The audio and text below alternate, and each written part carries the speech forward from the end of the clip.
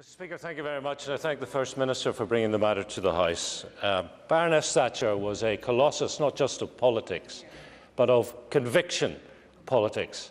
Of course, Ulster Unionist Party would not have agreed with everything, particularly uh, signing the Anglo-Irish Agreement, which gave undue control over our affairs uh, to a foreign nation.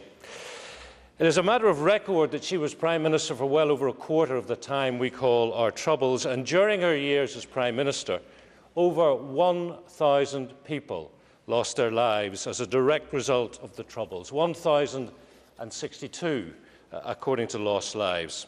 And no doubt, Mr Speaker, it would have been many, many, many more had it not been for her very unbending stance against terrorism. Northern Ireland has reason to be eternally grateful for that stance, not least during the hunger strikes when Northern Ireland was taken to the brink uh, of something catastrophic. Uh, I have already noted uh, with regret uh, the statement of absolute bitterness from the Sinn Féin President, uh, Gerry Adams, who said, and I'll repeat the members, quote, Mar Margaret Thatcher did great hurt to the Irish and British people during her time as Prime Minister. Working class communities were devastated. Republicans did great hurt to working class communities. You're responsible for the lion's share of the 1,062 murders during Mrs Thatcher's time as Prime Minister. Your statement also conveniently forgets how much Mrs Thatcher did for political freedom and for human rights, not least for the people of Eastern Europe. Yes, Mr McCartney, for the people of Eastern Europe and for the people of the Falklands, yeah. where she enforced the principle of consent. A matter. I beg your pardon, Mr Speaker.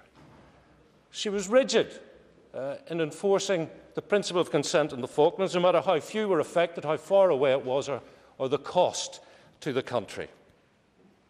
Whatever you thought of her as a politician, she was a remarkable public servant who stood by her beliefs and courageously fought against the odds on the national, European and the world stage.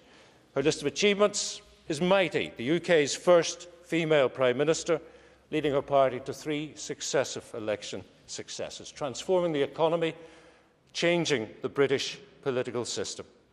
The Ulster Unionist Party, Mr Speaker, expresses its condolences to her children, her family uh, and to her friends and joins in so many in acknowledging her massive impact, her positive impact, not only in Northern Ireland or the UK, but on global politics. Yeah.